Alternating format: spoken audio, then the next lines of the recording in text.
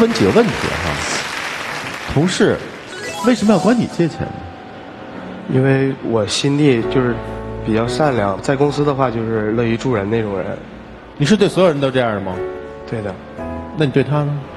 你可以直接借给人家五千块钱，而是不用还的这种感觉，两千块钱都不可以搁在他这儿吗？因为借那个人的钱的时候，我也是考虑过的。但你为什么要借给人家还不要还呢？当时也没有多想，因为他也刚大学毕业嘛。完了，他说他每天要站九个小时，就是你还要上下班去接送他。嗯、他说过要还了，然后我就没多在意。还了没有？呃，是快还了，快还了，还没还上。是的。跟朋友出去喝酒，别忘了你是做什么工作的，司机。很少听说司机能天天喝酒，一定会影响你的工作的。我相信不可能有老板叫自己的司机去这么喝酒，老板这是害自己呢。所以说啊、咱不要那么多虚的，面对你的爱人，你一定要拿出自己的真心来。如果心已经不在了，还要找各种各样的借口，那你就是一个骗子。我现在再问你，心还在吗？知道自己过往做错了吗？知道。